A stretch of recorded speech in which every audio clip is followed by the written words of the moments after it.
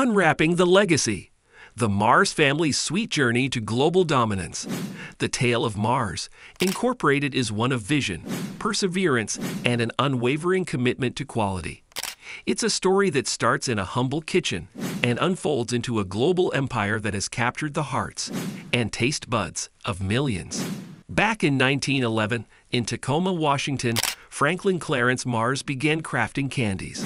Inspired by his mother, who taught him the art of candy making, he launched his first creation, the Milky Way Bar, in the 1920s. But this was just the beginning. Franklin's son, Forrest Mars Sr., not only inherited his father's love for candy, but also his business savvy and vision for expansion. Forrest Sr. saw opportunities beyond American shores.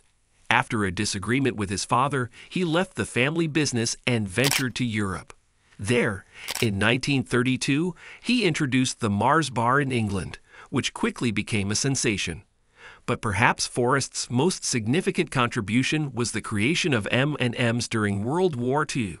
These colorful chocolate candies, designed not to melt in soldiers' hands, became a symbol of innovation and quality. The post-war years were pivotal for Mars. The company ventured into new markets and sectors. In 1935, Mars entered the pet care world with the acquisition of Chappie, a dog food brand. This marked the beginning of Mars' journey in pet care, now one of their most significant divisions. However, Mars' growth wasn't just about acquisitions and product launches.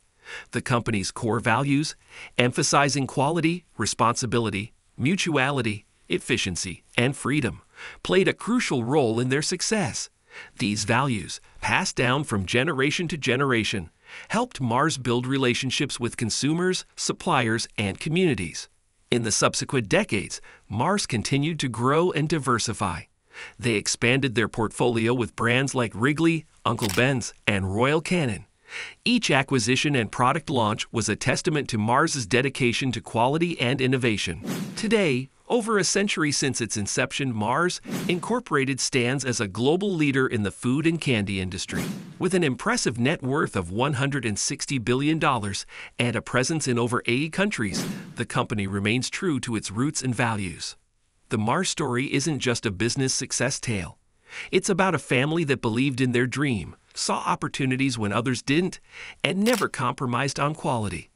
It's a story that reminds us that with passion, vision, and hard work, the sky's the limit.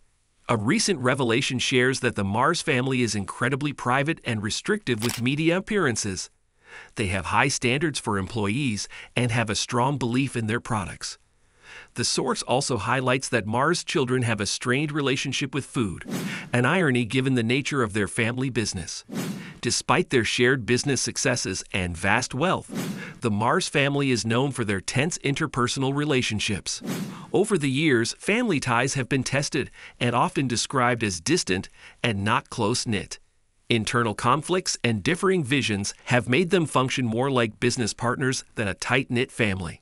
Despite their preference to operate behind the scenes, land registry records have revealed that the Mars family owns over 50 properties, ranging from sprawling estates to lavished villas. An exact estimate of their net worth is challenging to pinpoint, as the family ensures their financial matters remain out of the media spotlight. This emphasizes their profound desire for privacy in their personal lives. Don't forget to hit that subscribe button below.